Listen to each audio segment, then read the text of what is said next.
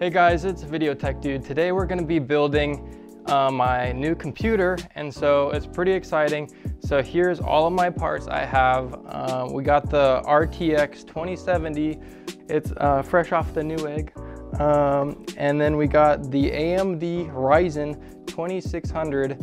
But then we got uh, some 16 gigs of DDR4 RIP uh, JAWS RAM so that's pretty cool. Then we got uh, the Corsair Node Pro, some pricey um, RGBs, but they're addressable, so that's cool.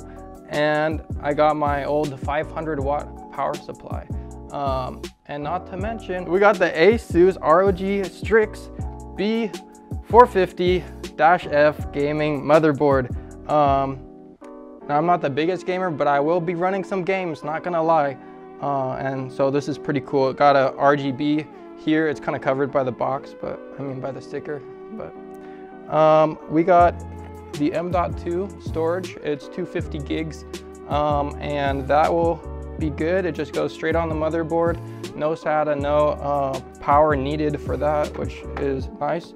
Then we got a two terabyte laptop drive, and this is nice because it fits in your standard uh, uh, SSD slot. So it'll just fit in there nice and be not big. Um, and now I got my H60 CPU cooler. This is a AIO liquid cooler. And um, I have a review of this on my channel, uh, link to it somewhere. And then, um, but I love this. Thing. Yeah, this thing gives me great temperatures and I just love it a lot. Looks cool and functions cool. Um, but we got the Corsair 460X uh, carbide crystal, whatever you call it, uh, glass case, and we got tempered glass on the front and tempered glass on the side. And this is pretty exciting. I like me some glass. Um, and we got three RGB fans. They are the Corsair SP 120 millimeter fans. And some people have um, complained that they can be a little loud, but they light up, so can't complain about that. So with all that being said, let's get started building.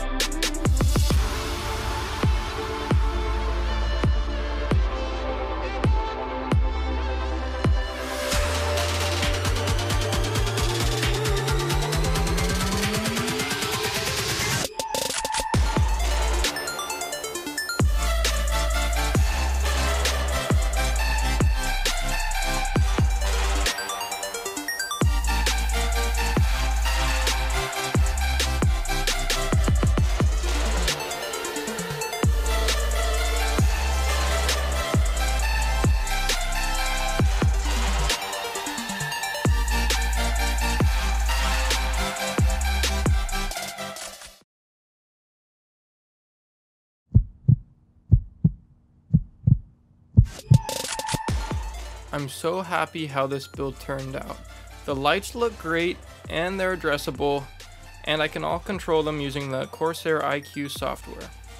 These custom braided cables I got from Amazon look great with the build, they match with the black and white color scheme and it's a super nice touch.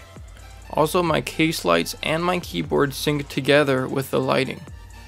Taking off the plastic wrap was satisfying as usual, although it was a little trickier than expected. The RGB light on the 2070 graphics card is addressable, but I cannot control it using my motherboard since I do not have an MSI motherboard. I installed these two 120mm Cooler Master fans because they're quiet and they add more than sufficient exhaust for the airflow in the case.